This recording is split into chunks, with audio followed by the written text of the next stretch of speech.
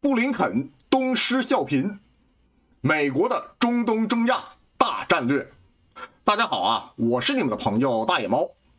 就在本月的十号和十一号，在奥地利首都维也纳，中美两个超级大国的高级外交人员开了一次见面会。这个事儿呢，是国安顾问沙利文和王毅之间的事情。那有人要问了，美西宗拜登的左右神策军中尉布林肯跑到哪儿去了？他去干什么了？被雪藏了，还是最近卷入了亨特·拜登的那件破事儿要被辞退了呢？说实话呀，布林肯这位办事员的水平真的不是一般的差呀。在外在外交圈尤其是拜登的这个外交圈布林肯呢属于欧洲派。但是呢，你也看到了，俄罗斯和乌克兰的战争，土耳其的左右横跳，马克龙的最近反水，加上北爱尔兰的骚操作，这个人的能力啊已经被怀疑了。已故的资深参议员约翰·麦凯恩就曾经说过，布林肯除了石化龙卷风和吹牛逼以外，啥也不是，没什么实际的外事经验。美国外交如果由他来带领啊，会出大问题。他还说，布林肯是美国长远利益的巨大国家安全威胁。也就是说，你说出了这个话，那等于说给布林肯定了调了。这个人呢，只会说大话，真会办事儿的时候呢，他还没有。另外一派呢，就是亚洲派或者印太派，这边的能人还是比较多的。比如说那个亚太沙皇坎贝尔和国安顾问沙利文。沙利文最近的风头很大呀，布鲁金斯学会的演讲、维也纳峰会都是由他来主持，都是由他来进行操办的。随着美国的战略转向，逐渐集中在西太平洋，沙利文可以可以说是前途无量啊！我曾经预测过。现在我再说一遍，这个人是未来国务卿的不二人选。那么布林肯到哪里去了？我可以告诉大家，布林肯正在为美国酝酿一个中东中亚的大战略。先给大家几个场景啊，回顾一下最近几年发生的事情，围绕着中东和中亚这几件大事儿。首先一件呢是二零二一年九月。美国呢，阿富汗撤军撤的呢非常非常的狼狈，西贡时刻再现，超级大国呢形象一落千丈，这等同于呢在中亚地区呢影响力大减，军事直接控制世界岛中央，如今呢这股力量呢已经不存在了。第二件事儿呢就是哈萨克斯坦2022年1月的颜色革命。这个事儿呢很突然，但是准备了很长时间，规模很大，但是很快呢被集体安全组织的快速反应反应部队呢平息。但是这个事儿呢也说明了问题，说明了头一件问题：哈萨克斯坦处于转型期的这么一个时间段，它的动荡呢会有一些。另外一个呢就是 NGO 在中亚地区的作用不容小觑。可有可利用的价值，也就是统战价值，尤其是在俄乌战争之后，哈萨克斯坦的动作，如果最近大家关注阿里耶夫最近的动作的呃动作的话，可谓是微妙至极啊。他呢搞左右平衡手，这边呢又跟中国哎洽谈，另外一边呢跟美国搞好关系，然后呢跟俄罗斯呢这个距离呢哎。距离保持住，但是呢，俄罗斯这个国庆阅兵呢，他还去参加了，所以这个人现在正在搞平衡外交。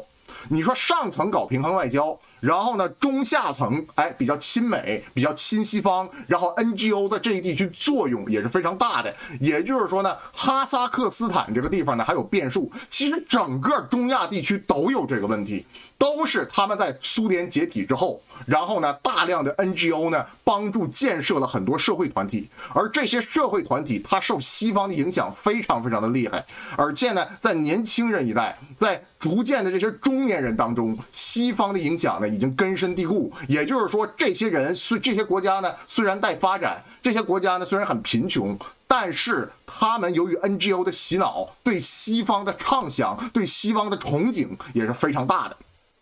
第三个呢，就是去年十月伊朗的头巾运动，这个事儿闹得非常非常的大。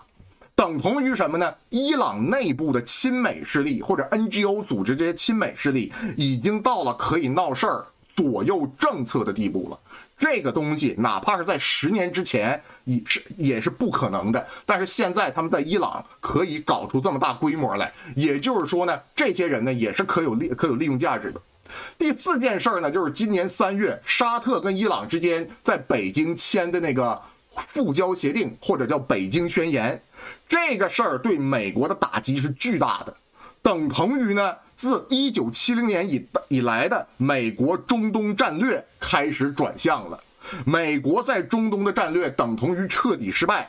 虽然还有驻军，但是中东地区已经化干戈为玉帛，使得美国依靠借力打力的操作无法实施了。美国在这地区的威望只有是越来越往下走。如果按照现在这个态势来说，其实吧，北京宣言对美国的外交政策圈呢打击巨大。无论是你从军界还是学界还是政界，从上到下呢，都在深刻的反思。最近，无论是《纽约时报》、《大西洋月刊》、《华盛顿邮报》，甚至福克斯《国家利益》，包括外交杂志、外交事务这些地这这些报刊、这些期刊、这些刊物，都在深刻反思美国在中东到底出了什么事儿，到底错在了哪里。其实很多问题呢，不是第一时间就能说明的，但是他们可以论证到了两点，我可以总结的两点。头一个是中东人民有了新想法，中东向往的不是战争，中东向往的不是势为势力范围的扩张，而是发展和繁荣了。也就是说，中东人民的诉求已经改变，但是美国呢，没此没有因此而改变，美国还是依旧以前的秩序。第二个事儿呢，就是中东地区对中国的方案呢相当青睐。然后呢，国家利益直截了当的就是说，中国模式在中东已经胜利了，这个是变化。那布林肯来说呢，他呢很着急，欧洲一大堆烂事儿啊，他搞得非常不好。然后呢，如果按照现在这个政绩啊，下一届国务卿呢，他可能当不上了，所以他很着急，所以他就搞了一个所谓的。和平协议啊，他想搞一个东西，然后呢，我们呢就用之前的成语“东施效颦”啊来说这个布林肯。其实布林肯啊，把他当成东施呢，有点儿有点埋汰他了。我比比较喜欢说他是苦瓜脸，或者呢美西东拜登的大太监，这个比较好。其实啊，之前呢，布林肯呢看着这么一个影像，就是王毅跟秦刚啊搞了一个类似戴维营的协议，在北京签了这么个宣言。沙特、中国和这个伊朗的外交人员呢，三个人在握手，这张照片是吧？影响了世界啊！这是影像的世界，影响了世界。然后呢，布林肯非常着急。布林肯呢，然后在二零二三年的五月四号，也就是一个星期之前吧，在美国的外交学院，其实美国也有外交学院，美国的外交学院与亚美尼亚和阿塞拜疆的外长举行会谈，试图呢促成双方的和解。然后呢，三位外长的照片握手啊，握手照片呢也出来了。不过呢，显得非常的不自然啊，强扭的瓜不甜。据说当时啊，双方在美国的斡旋之下呢，达成了停火协议啊，给了给足了面子。但是不过呢，很快被打脸，因为。昨天两国呢又爆发了冲突，又爆发了流血事件，等于说呢，哎，这个布林肯搞的这个所谓的这种啊，这种这种外交斡旋呢，最后失败了。但是呢，虽然失败了呀，我们似乎看到了一场美国在中东中亚地区的大战略正在酝酿。为什么这么说大战略呢？美国不是在中中亚地区？他失去了阿富汗之后，他开始撤了嘛？在中东地区，因为北京宣言对他的影响非常大，他呢已经开始在这个地方丧失了自己之前的优势嘛。但是美国呢，其实呢他不甘心，美国这块不甘心，他在做自己的牌进行反攻，哪怕呢给其他战场上呢拖一给给其他战场上这增加一些时间呢也好。其实美国最近呢一直在推牌，无论是日本、韩国还是菲律宾，在西太平洋方向、西太平洋方向呢，它推得很厉害。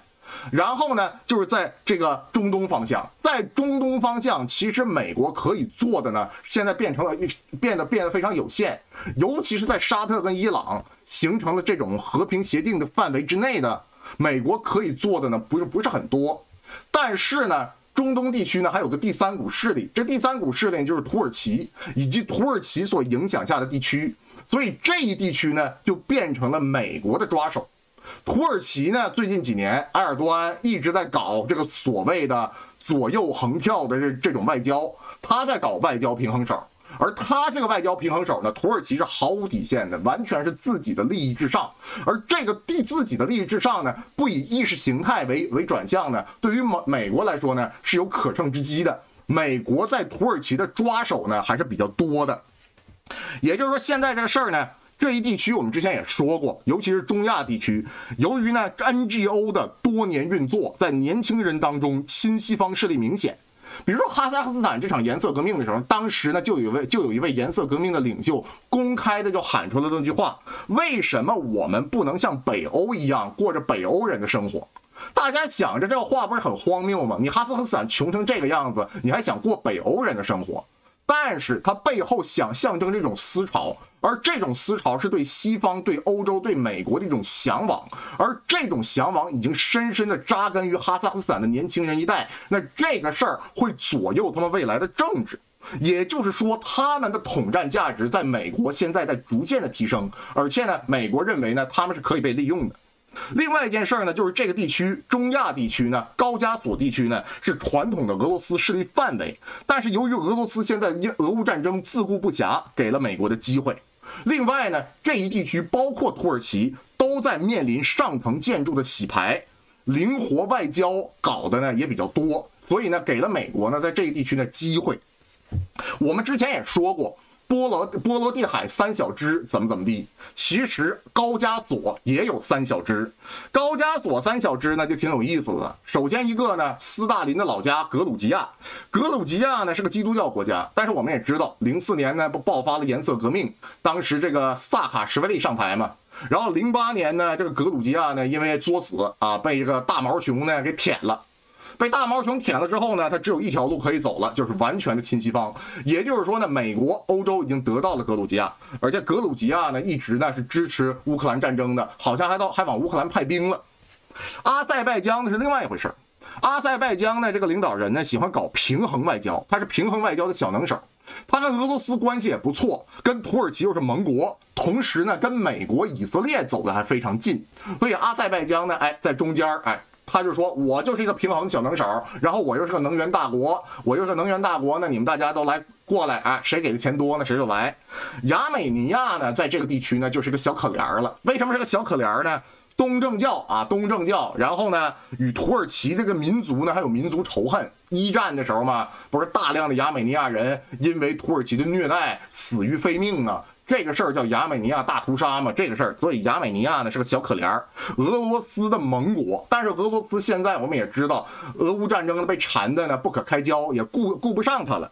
然后近几年呢，亚美尼亚呢也转向了亲美亲西方。亚美尼亚其实跟以色列一样。在海外呢都有大量的居民，然后呢，亚美尼亚的居民呢跟以色列在海外的居民也是一样的，影响力都非常大，尤其是在西方的影响力。也就是说，亚美尼亚在美国在西方呢还是有一定的人脉。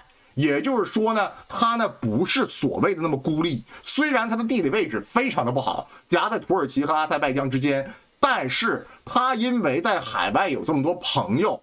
等于说什么呢？他这个他这个情况呢，还是可以说得过去的。他要亲西方呢，那西方呢也喜闻乐见。也就是说，现在的情况呢，由于俄乌战争，俄罗斯自顾不暇，俄罗斯鞭长莫及，在高加索地区，美国在推牌。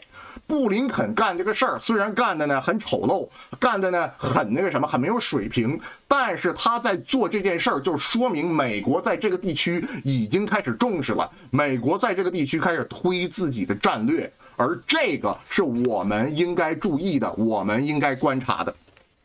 还有呢，就是高加索地区了。高加索地区，无论是南奥塞梯还是北奥塞梯，还是英格塞提亚还是车臣，这一地区呢又是个多民族地区，俄罗斯分裂势力的聚居地。这个地方民族特别多，与俄罗斯族呢又非就就就是说俄罗斯族的关系呢不是很好。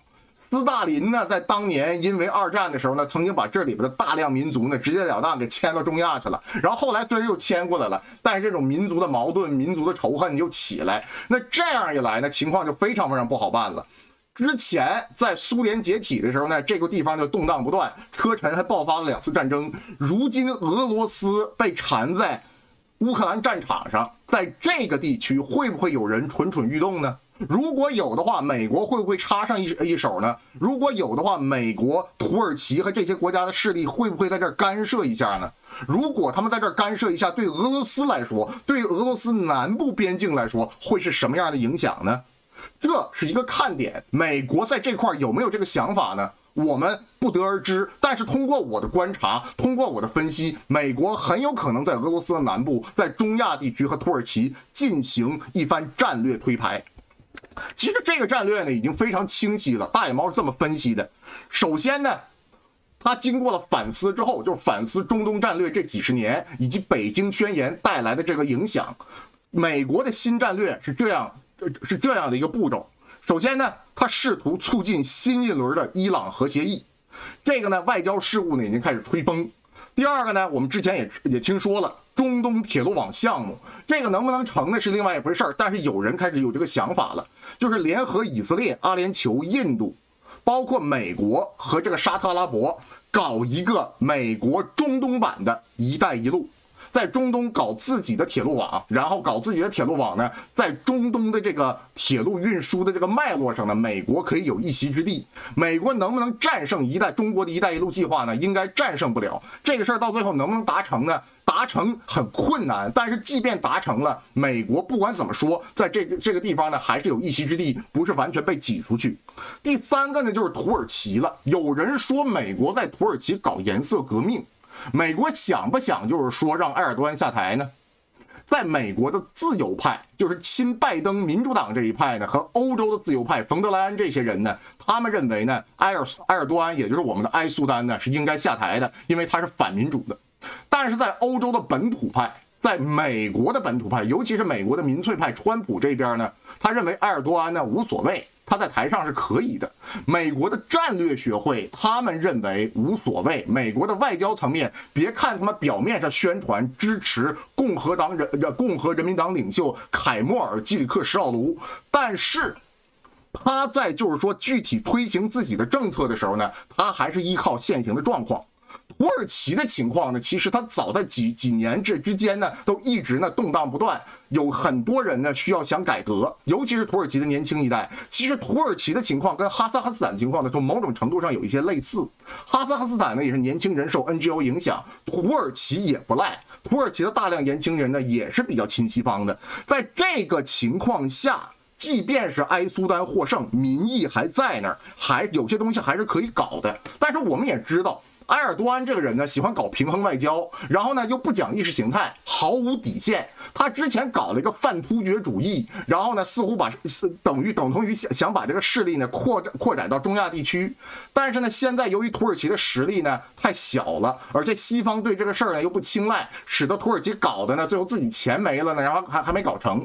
但是由于北京宣言的签订，美国在中东的抓手不多了，会不会以后利用土耳其的这个民族主义，利用？土耳其这个所谓的泛突厥主义来对对对中亚地区形成渗透呢？那这个东西我们可以看，也就是说，以后美国它这块有两个抓手，可以通过土耳其的影响力、自由派的影响力，或者利用泛突厥主义的民族主义，然后然后呢，从这来一个从伊斯坦布尔到高加索到中亚五国的。大战略，因为这一地区现在面临转型，正在出现出出现社会动荡，和它这个社会走向了这种十字路口。如果它在中亚地区可以实现影响的话，那它会不会对新疆地区实施影响？那这个东西是我们需要观察的。这个东西我们需要观察的，我们应该居安思危。我们看到了有一些变化，或者我们分析到了可能的变化。这个东西我不知道它能不能成。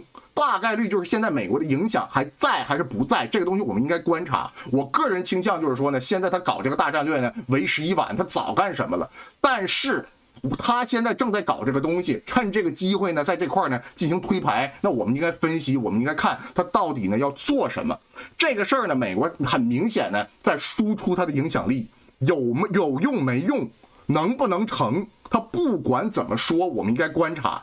其实最近呢，中国这边呢也有动作。中国西安五月十八号到十九号，中国中亚五国峰会召开，也就是说，中国这边已经开始重视，已经开始应对了。好了，这期节目就到这儿。喜欢大眼猫节目的，别忘点赞、评论、转发。没订阅请订阅一下，谢谢大家。